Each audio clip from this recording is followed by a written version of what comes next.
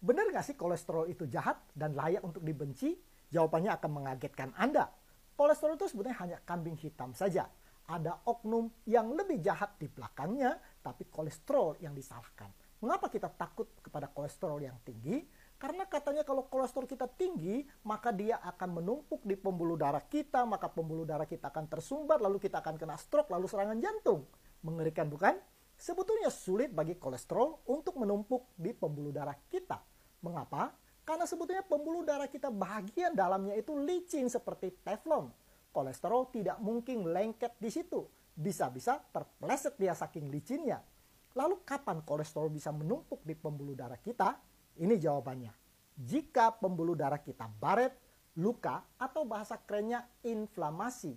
Loh kok bisa inflamasi? Siapa yang bertanggung jawab? Siapa yang bikin dia luka? Nah ini dia oknum jahatnya. Dia adalah sang gula.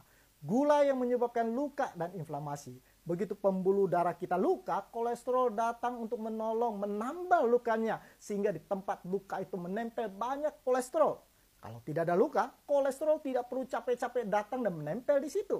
Jadi siapa yang salah? Si gula. Tetapi semua menyalahkan kolesterol. Kasihan ya. Kalau kita tidak mau ada penumpukan kolesterol, jangan makan gula bukan menyalahkan kolesterol.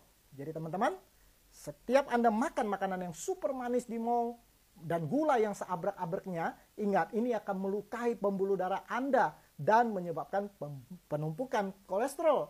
Mari kita kurangi makan gula.